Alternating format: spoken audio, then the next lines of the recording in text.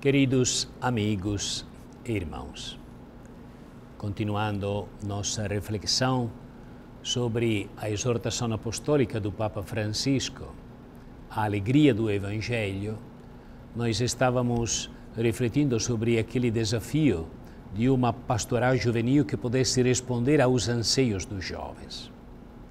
Embora nem sempre seja fácil abordar os jovens, houve certamente crescimento em dois aspectos.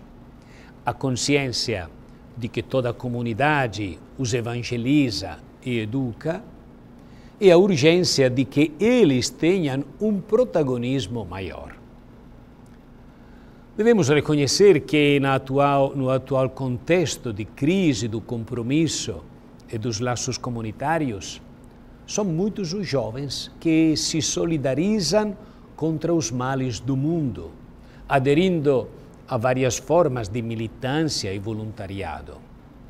Alguns participam na vida da igreja, integram grupos de serviço e diferentes iniciativas missionárias nas suas próprias dioceses ou noutros lugares.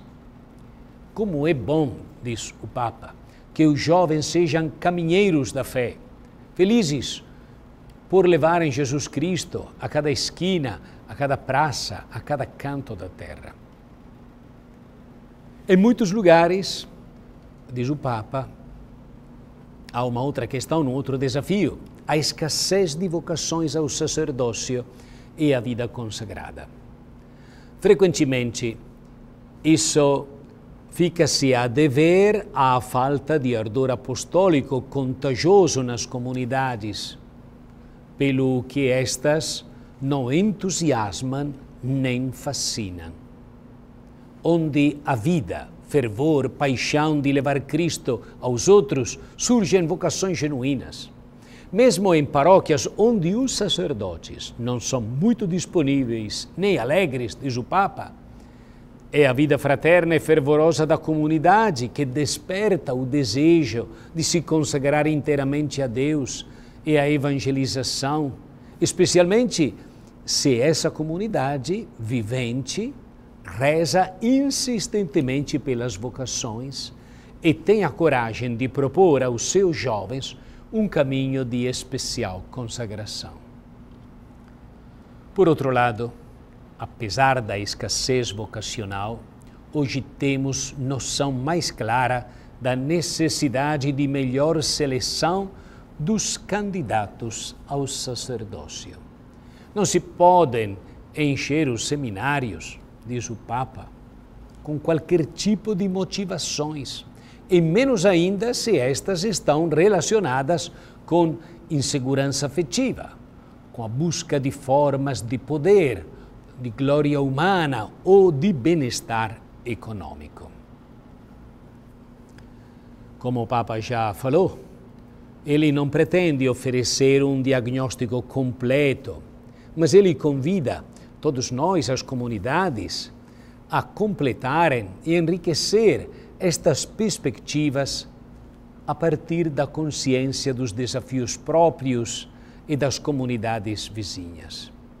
Ele espera que ao fazê-lo nós tenhamos em conta todas as vezes que intentamos ler os sinais dos tempos na realidade atual. É conveniente, por isso, ouvir os jovens, ouvir os idosos. Tanto uns como os outros são a esperança dos povos. Os idosos, diz o Papa, fornecem a memória e a sabedoria, a experiência, que convida a não repetir assim de forma errada é o que já fizemos no passado. Os jovens nos chamam a despertar e a aumentar a esperança, porque eles trazem consigo as novas tendências da humanidade e nos abrem ao futuro, de modo que não fiquemos encalhados na saudade de estruturas e costumes que já não são fonte de vida no mundo atual.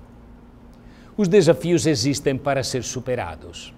Sejamos realistas, mas sem perder a alegria, a audácia e a dedicação cheia de esperança.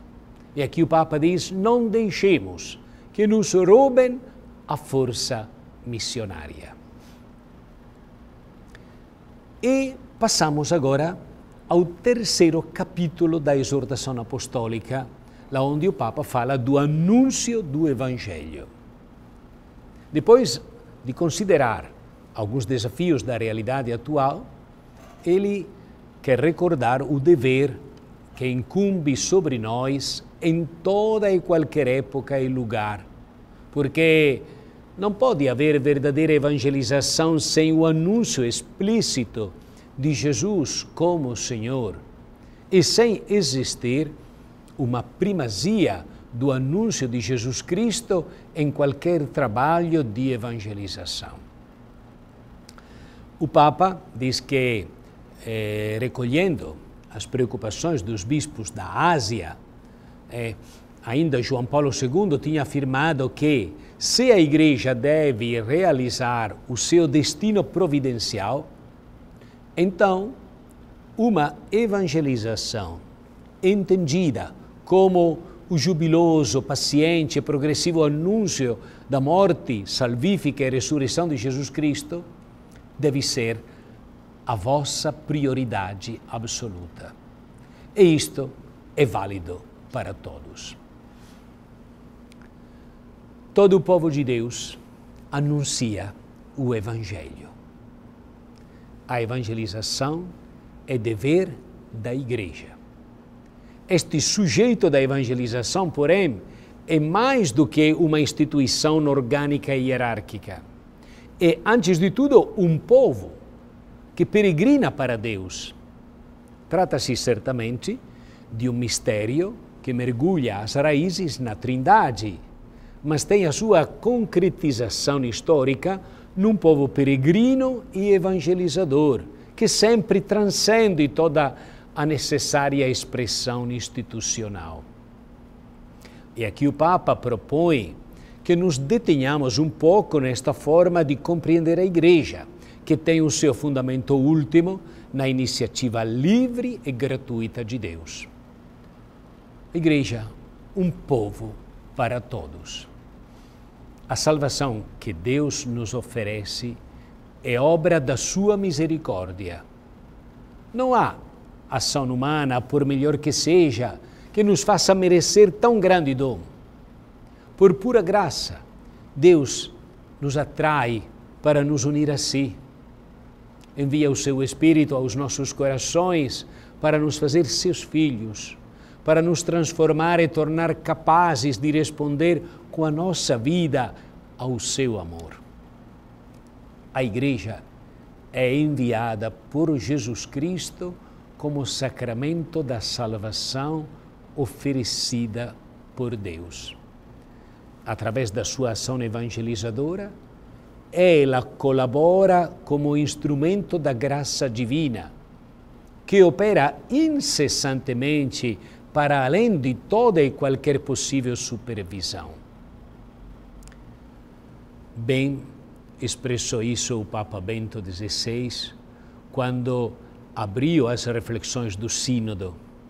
É sempre importante saber que a primeira palavra, a iniciativa verdadeira, a atividade verdadeira vem de Deus e só inserindo-nos nesta iniciativa divina, só implorando esta iniciativa divina, nos podemos tornar também com Ele e nele evangelizadores. Por isso, o princípio da primazia da graça deve ser um farol que ilumine constantemente as nossas reflexões sobre a evangelização. Esta salvação que Deus realiza e a Igreja com alegria anuncia é para todos.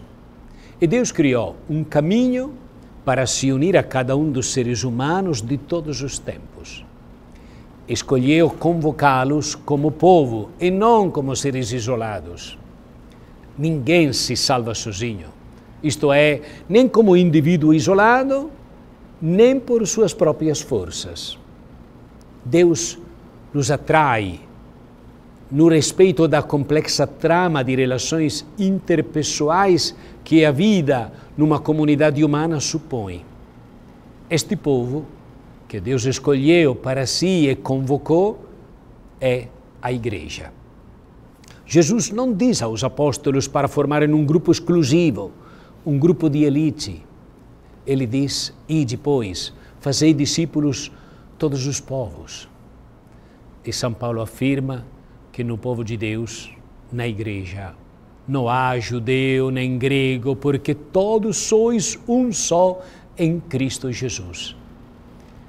E o Papa diz: Eu gostaria de dizer àqueles que se sentem longe de Deus e da Igreja, aos que têm medo ou aos indiferentes, o Senhor também te chama para seres parte do seu povo e fazê-lo é com ele faz isso com grande respeito e com grande amor. Ser igreja significa ser povo de Deus de acordo com o grande projeto de amor do Pai. Isto implica ser o fermento de Deus no meio da humanidade. Quer dizer, anunciar e levar a salvação de Deus a este nosso mundo, que muitas vezes se sente perdido, necessitado de ter respostas que encorajem, deem esperança e novo vigor para o caminho. A igreja deve ser o lugar da misericórdia gratuita, onde todos possam sentir-se acolhidos, amados, perdoados e animados a viverem segundo a vida boa do Evangelho. Que Deus abençoe a todos. Em nome do Pai, e do Filho e do Espírito Santo. Amém.